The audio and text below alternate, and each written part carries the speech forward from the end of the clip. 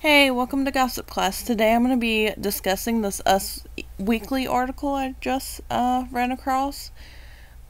But before we do that, go ahead and like and subscribe.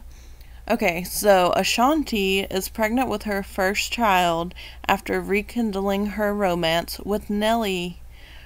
Uh, it says earlier this year. Uh, Us Weekly can confirm. Nelly and Ashanti are welcoming their first baby together a source exclusively tells us.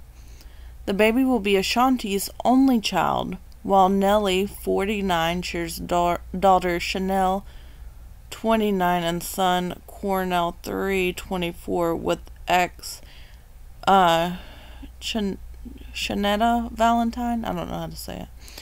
Uh, Ashanti 43 first sparked pregnancy speculation over the weekend when she attended Nelly's black and white ball in St. Louis with her partner.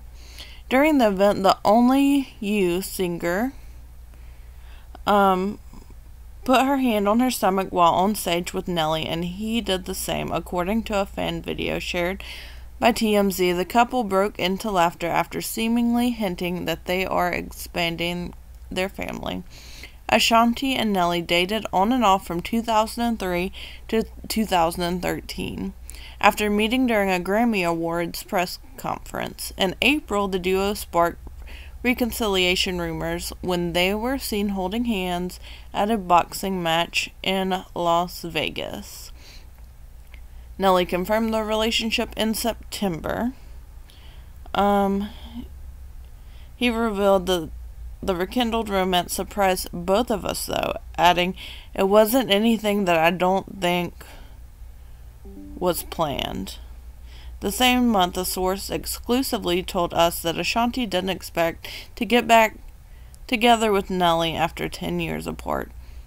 Uh, well, this is more exciting to me than the uh, Ben and J Lo reconciliation. I'll tell you that much. I'm glad that they're back together and expecting a child together. That's so exciting. Thank you for watching. Please like and subscribe.